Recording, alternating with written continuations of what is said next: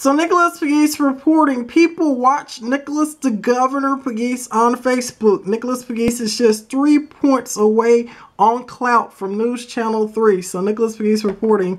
I uh, asked Congressman Stephen Fincher a question this afternoon, and I hope he can answer it on behalf of the European leaders. Nicholas Pegues reporting with a Klout score of 63%, and of course, WREG Memphis has a Klout score 66. Nicholas Pegues reporting.